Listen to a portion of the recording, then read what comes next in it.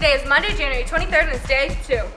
NJHS will have our club picture taken on Wednesday, January 25th. Please wear your NJHS shirt for the picture.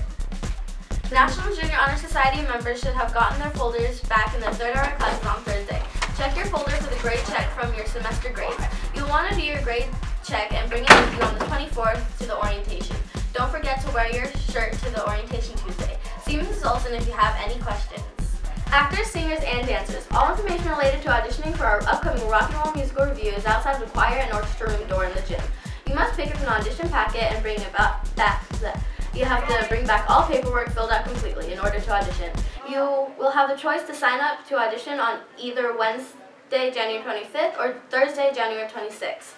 Callbacks will be held Monday the 30th after school. If you didn't catch all this information, go look at the choir room in the gym. Today's random fact of the day is... In Russia, microwave ovens were banned in 1976 because of their negative health consequences, as many studies were conducted for their use.